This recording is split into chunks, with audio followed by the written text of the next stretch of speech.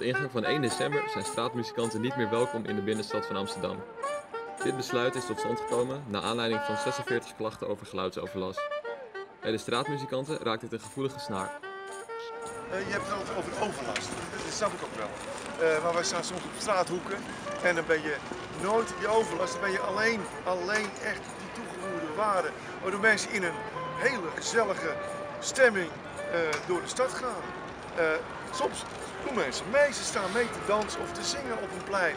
Ja, enige verbroedering? Wel ja, zeker weten. Barmhartigheid is dan aan de hand van een stad. Boudewijn Oranje, voorzitter van Stadsdeelcentrum, is verantwoordelijk voor het nieuwe beleid. Ja, wij vinden dat je muziek op straat mag maken, mits onversterkt, hè?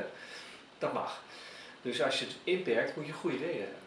Uh, en de reden is echt dat het in het gebiedskenmerken is gelegen. Dus uh, uh, ergens anders, nou, dan zou het moeten zijn waar evident ongelooflijk veel klachten voor zijn. Daar moet je mensen ook wel beschermen.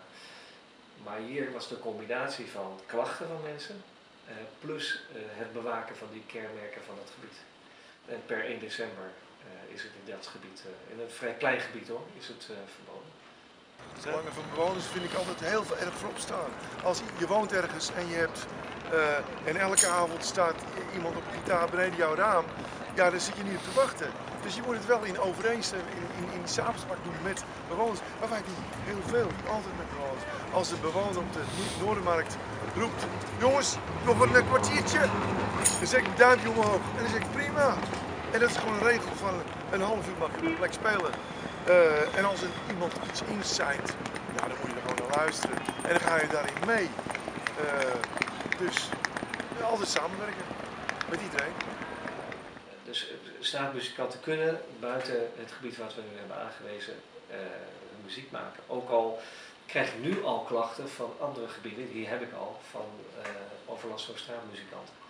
En dat is ook wel vervelend hoor, want hier in, dit gebied rond het stadhuis bijvoorbeeld, wat niet in het verbodsgebied zit, krijg ik ook mensen die bij, helemaal gek worden van, van, van straatmuzikant. Maar daar hebben we niet gezegd van dus betekent dat een verbod. Dus die belangen wegen we af. Dus ook het belang van de straatmuzikant is, is, er en die respecteren we ook.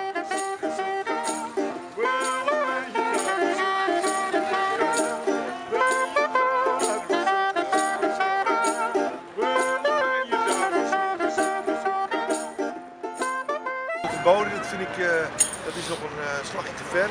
Ik zou eerder gewoon, uh, ik ga heel graag nog bellen, Boudewijn, Oranje. Dan gaan we eventjes afspraken maken dit tot een mooi geheel kunnen, kunnen smeden. Zodat die stad gewoon floreert en dat het niet een uitverkoop is van de stad. En hetzelfde geldt voor, voor woningen natuurlijk. Het is een, een, een, huis waar geen licht meer brandt, ja dat is dan van een rust. Hallo?